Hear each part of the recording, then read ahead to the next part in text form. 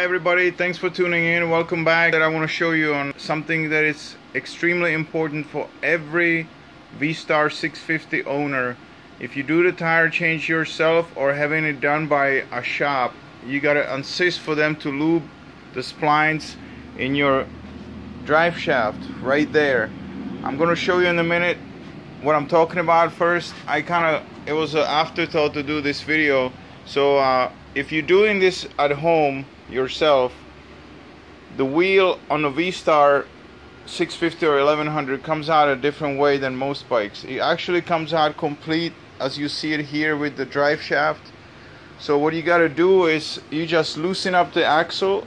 You don't take it out, and there's a four bolts over here that you got to take off. And of course, undo your uh, rear brake uh, drum uh, holder here and uh, and the shaft for uh, for the lever and the whole assembly slides out. When you're putting it back you can see here the drive shaft would lay you gotta lay it on here and start sliding it back and it'll find its way in pretty easily. You might want to put the bike in gear. So uh, you know as you're turning the drive shaft it'll, it'll get into the spline easier the reason why I'm doing this video is I want to show you what has to be lubed. Because this is like the Achilles heel on these bikes. There is a spline and a coupler underneath this cover. You just take these four bolts out and it comes apart.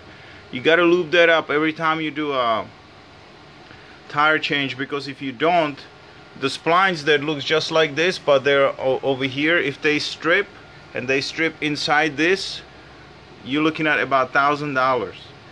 Because they don't sell the parts separately to fix it. They do sell the coupler but they don't sell the the spline coming out of the gearbox. You got to buy the whole thing. So extremely important. And if you have it at the shop somewhere be adamant that they lube that for you. So I'm gonna show you what it looks like. Okay so I got the four nuts out. I'm gonna work with one hand so uh, hopefully be uh, able to see it okay? You pull this out and you're gonna see the coupler here that I was talking about. You can actually pull the coupler off. There's just the, the, the rubber boot over here. Here's the coupler. There's a spline in here spline in there spline in here and spline in here. This one is not dry but it's it, it, it needs to be lubed up. It's due so you want to lube all these splines. One two three four. Okay make sure you do that then you just put it back together. It's no big deal to do this but it's extremely important. If this spline is stripped right here you gotta buy the whole thing.